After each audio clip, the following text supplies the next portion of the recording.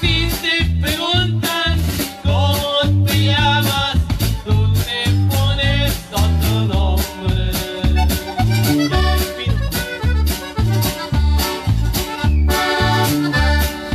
Ya me despido, lindas morenas.